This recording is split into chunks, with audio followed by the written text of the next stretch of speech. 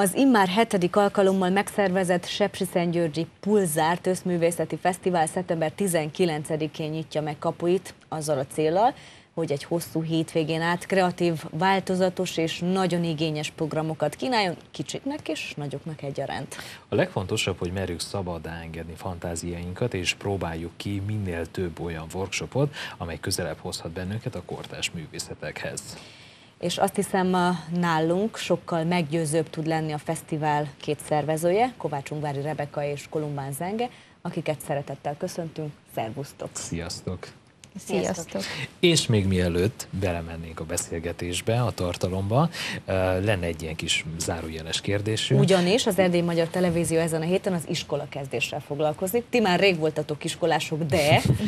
de megkérdezünk titeket is, hogy ha visszaemlékeztek, milyen volt nektek az iskola kezdés, illetve esetleg milyen tanácsal látnátok el most a, az új diákokat. Emlékeztek még erre? Szerettétek-e, vártátok-e ezt a pillanatot? Én emlékszem, hogy nagyon vártam, mert az óvodát azt, azt kiváltképpen gyűlöltem. és, és van egy nagyobb testvérem, egy bátyám, és ő már iskolás volt, és minden álmom volt, hogy végre én is bekerüljek De jó. a rendszerbe. Úgyhogy nekem Neked jó volt. az iskola is jó élmény volt, az iskola kezdés is. Zenge? Én is mindig izgatottan vártam az iskola kezdést. Én igazából nem szerettem otthon ülni, utáltam a vakációkat, ez az igazság. Azt vártam, hogy legyen minél több pörgés, találkozzak a barátokkal, úgyhogy mindenképp jó buli volt az iskola kezdés. És egy-egy jó tanács a diákoknak? Kalandként fogják fel. Ó, Ez milyen szuper. fontos. Igen, ez fontos. Tényleg. Csatlakozom, Csatlakozom. Rebeka, abszolút. Mi meg visszakanyarodunk a pulzárthoz, hiszen uh, megszokhattuk Sepsiszentgyörgy részéről, a város részéről, hogy mindig kitaláltok valami újat. Rengeteg olyan esemény van, amely a fiatalokhoz szól, ami a kreativitásról szól, workshopok, uh-huh. kulturális események. Én szoktam mondani, hogy Sepsiszentgyörgy egy ilyen kulturális város, és tényleg ezt érzem, és a pulzát lüktet lüktet mindig, pulzál, a pulzát is ehhez kötődik, én is úgy érzem, és van-e tematikája az idei kiadásotoknak? Csatlakoztok -e esetleg valamihez? Mi lesz a fő motivum? Azt kell tudni egyébként a pulzásról, hogy minden évben volt valamilyen tematikája. Uh-huh. Idén nem is inkább konkrétan tematikát választottunk neki, hanem a teljes tematikus évünkhöz kapcsoltuk hozzá, ami idén a diákok éve. Milyen fontos. Ennek szenteltük igazából a 2019-es évet.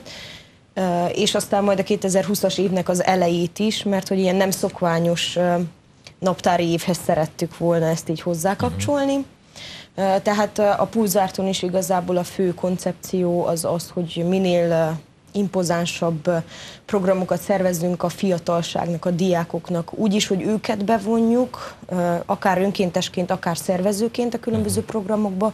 Jöhettek ők is ötletekkel, hogy milyen programot szeretnének megszervezni a pulzárt keretében, meg egyáltalán a diákok éve keretében, egész évben, és hát az előadásainkat, a meghívottjainkat is úgy válogattuk össze, hogy mindenképp olyan tematikában mozogjanak, ami a fiatalságnak uh, igazán érdekes lehet. Beszéljünk egy picit a programról, mert hogy nagyon színes és nagyon izgalmas. Én egy kicsit utána néztem. Engem nagyon megfogott például ez a bohóc műhely munka, de van betonozás is például. installációkészítés. Installációkészítés, szóval nagyon színes. Én- És, és, és Dizájntáska. Engem, Abszolút. nekem pedig ezt tetszett. És újak, én ezt vettem észre, újak, amikről én még egyelőre nem hallottam, így legalábbis a környezetemben. Na meséltek egy kicsit, bontsuk ki akkor ezt a program sorozatot. Minden évben fontos volt igazából az, hogy olyan műhely munkákat hozzunk, amiben kicsik is és nagyok is ki tudják próbálni magukat.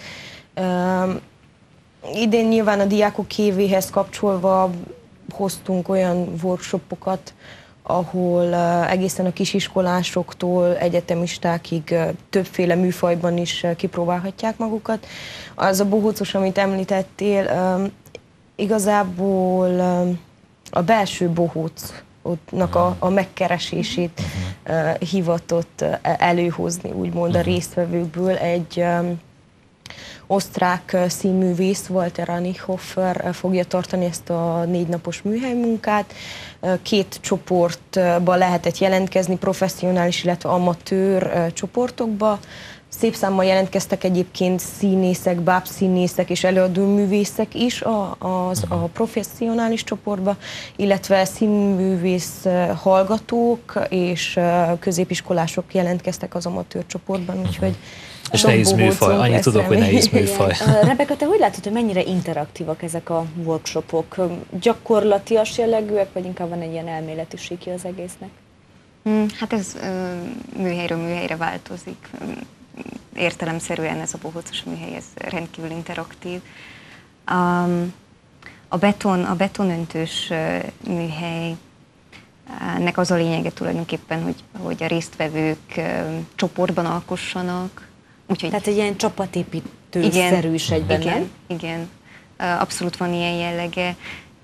Tehát a, a közös alkotás öröme, és, és a, amiből a végén születik egy, egy kis plastikus betontárgy, amit majd hazavihetnek a, a résztvevők. Szóval, szóval ez, ez abszolút interaktív.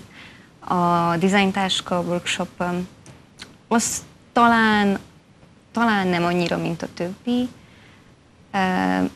Itt az emberek eléggé, eléggé önállóan kell majd, hogy dolgozzanak, tehát külön választják ki az anyagokat, vagy maguknak választják ki az anyagokat és a szabás mintát, és talán a, a varrás részénél lesz majd nagyobb a, az együttműködés, vagy a csoportmunka. Uh-huh.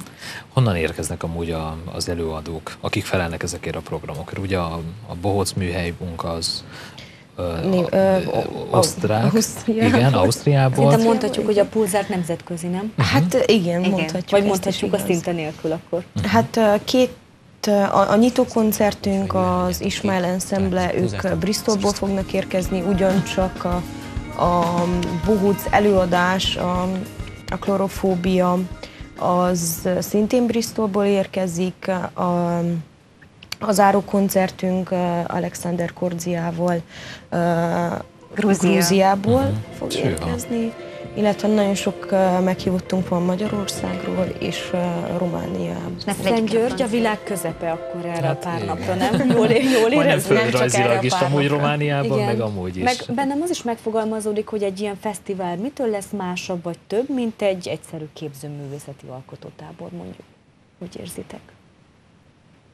Hát azért több, mint egy tábor igazából, mert hogy az egész város területén zajlanak ezek a uh-huh. tevékenységek, programok, műhelymunkák, előadások, stb. Tehát tizen, talán 15 különböző helyszíne van az idei pulzártnak, és hát igyekszik bevonni a város teljes lakosságát, úgy a kicsiket, uh-huh. mint a nagyokat, úgyhogy ezért több, mint egy tábor, és ezért merjük uh-huh. úgy fesztiválnak nevezni. Összművészetinek, hiszen hogyha jól értjük, akkor itt tényleg a zenétől elkezdve a képzőművészeten át, talán még az irodalom is, nem irodalom, program, vannak is irodalmi programjaink, és idén, idén egyébként ezek is elég interaktívre sikerettek, és nagyon izgalmasak lesznek. Um, Király Kinga Júlia az egyik meghívottunk, um, ő fogja bemutatni a az újrakezdés receptjei című legújabb művét, és közben pedig ételkóstolás lesz. Hmm. Tehát az általa összegyűjtött receptek közül néhány el lesz készítve, és akkor azt a közönség vagy a résztvevők megkóstolhatják. És hasonló ehhez a Csernaszabó András és Darida Benedek közönség találkozó, amelynek során a szerző páros milánói pacalt fog a helyszínen elkészíteni, és azt közösen fogyasztják. Már érzem, hogy meg, megkóstolnám én is a Szentgyörgyi ingyenségeket. Hát, hogyha a főzés is művészet, akkor ez nagyon beleér. Szerintem biztosan művészet, sőt. Abszolút. Amúgy milyen visszajelzéseket kaptok? Gondolom, hogy csupa pozitív így 7 év távlatában, és ilyen színes kínálattal.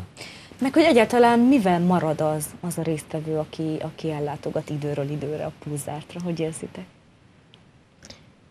Hát mindenképp olyan élményekkel maradnak, ami, amelyek nem mindennapiak.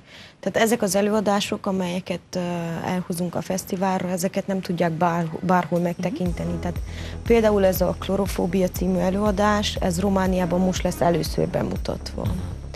Úgyhogy mindenképp olyan egyedi és olyan színvonalas produkciók vannak, amiket hogyha meg szeretnének tekinteni, akkor bizony-bizony el kellene utazni külföldre, nagyobb fesztiválokra, színházi fesztiválokra, vagy művészeti fesztiválokra, úgyhogy úgy igyekszünk összeválogatni minden évben, hogy, hogy egy, tényleg egy olyan közösségi és közönségi élményt tudjunk nyújtani, amit nem találnak meg bárhol máshol, csak úgy a hétköznapokban. Ez milyen fontos, amit mondasz. Még mielőtt a tervekről beszélgetnénk, én kíváncsi vagyok személyes tapasztalatokra is, hogy szervezőként, vagy akár résztvevőként is egyben. Mit szerettek nagyon ti a pulzárban? Rebeka, mi az, ami téged feltölt ez a pár nap alatt? Az, amikor a, a semmiből születik valami, ami nagy ö, hatást gyakorol a tömegekre, meg egyébként ránk is, mert ö, így szervezőként vagy benfentesként nekünk is nagyobb rá, rálátásunk nyílik az alkotó-alkotás viszonyra, a tengelyre, és, és lehet, hogy ezt a közönségből ezt nem, nem lehetne ugyanígy á- átélni. Szenge? Nekem a pörgés. És az a pörgés, ami Az a a, jó kulisszák pörgés, mögött zajlik, amit nyilván csak mi látunk, meg a meghívottak, és az a pörgés, ami a városban történik ilyenkor. Hogy teli van a főtér, ott vannak az installációk, mindenhol látszik, hogy igen, most itt egy pulzárt zajlik, és az emberek látszik, hogy ezt szeretik, és mosolyogva mennek be a színházba, és utána még nagyobb mosolyjal jönnek ki egy-egy előadás után. Az akkor beszélünk jövőbeli tervekről. Nagyon kíváncsi vagyok, hogy még hova tudja kinőni magát ez a fesztivál. Vagy mi a cél egyrészt? Meg talán látjátok azt, hogy milyen utat jártatok be, tehát hogy mondjuk milyen volt az első kiadás, és akkor 7 év távlatából tényleg hová jutott el ez a pulzáló Szentgyörgyi esemény. Hát szerintem elmondhatjuk azt, hogy a célunk az, hogy minél több és színvonalasabb nemzetközi produkciót tudjunk elhozni.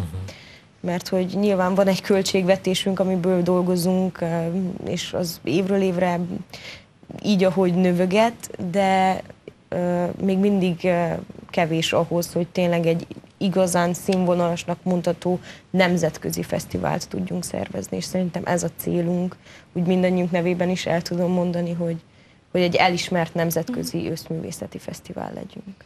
Nagyon jól hangzik. Én Abszolút. irigylem a Szentgyörgyieket a szó jó értelmében, szerintem nem fognak unatkozni, Abszolút. és abban is biztos vagyok, hogy mindenki megtalálja azt a programpontot, amit keresni fog. Mondjuk el végezetül azt is, hogy hol lehet amúgy jegyet vásárolni, illetve uh, hol lehet átnézni a kínálatot, amire esetleg most még nem tudtunk ilyen rövid idő alatt rátérni, meg hát lehet, hogy nem is tudnának ennyi időpontot és dátumot megjegyezni a nézőink. Mondj csak. Um, a teljes program három nyelven, magyarul, románul és angolul elérhető a www.pulzár.ru honlapon, de egyébként minden egyes programról kommunikálunk a Pulzárnak a Facebook oldalán is, úgyhogy Aktívak oda is érdemes felnézni. Szuper. Jegyeket lehet már váltani a jegymester webáruházban, viszont ott csak a teljes áru jegyeket lehet megvenni. A diákok, a diákok és nyugdíjasok kedvezményes jegyeket válthatnak ki, de az csak személyesen Sepsiszentgyörgyön a, a városi jegyirodában lehet. Hát mindez kívánok nagyon sok sikert amúgy nektek, és akkor ne felejtsék, kedves Sepsi Szentgyörgyiek, és nem csak szeptember 10, bocsánat, igen, 19-én nyitja meg kapuit, kapuját a Pulzár Fesztivál, és köszönjük, hogy itt voltatok, és hogy meséltetek nekünk erről az igen színvonalas fesztiválról. És jó szervezés a továbbiak is. Köszönjük, Köszönjük, és szépen, várunk és várunk szeretettel titeket. Köszönjük szépen.